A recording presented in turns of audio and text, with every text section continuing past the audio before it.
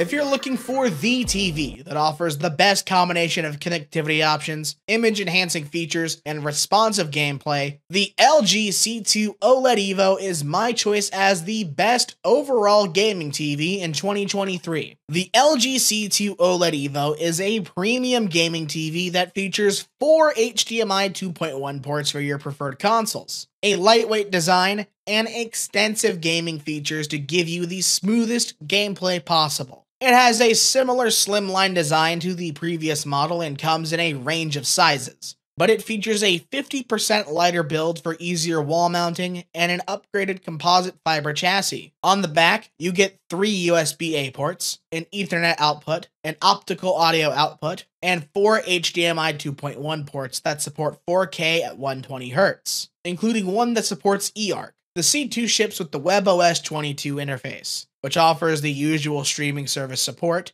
curated recommendations, user profiles, wireless streaming capabilities, and a new ambient always ready feature that displays art or photos when on standby. You get a stunning 65 inch OLED Evo panel that comes with a stunning 4K resolution to deliver a crisp and clear in game picture with nearly perfect colors. And the new panel can deliver up to 20% more brightness than the previous C1, it also comes with a powerful Alpha 9 Gen 5 processor 4K that offers improved image upscaling and outstanding motion processing, and it supports HDR10, HLG, Dolby Vision, and Dolby Atmos formats. The 120Hz refresh rate helps ensure consistently smooth gameplay, and it comes with several game enhancing features such as VRR, AMD FreeSync Premium, NVIDIA G Sync, and a game optimized mode to reduce latency and view important metrics. The LG C2 OLED Evo is a premium gaming TV that offers an upgraded user interface to stream content, several new useful features,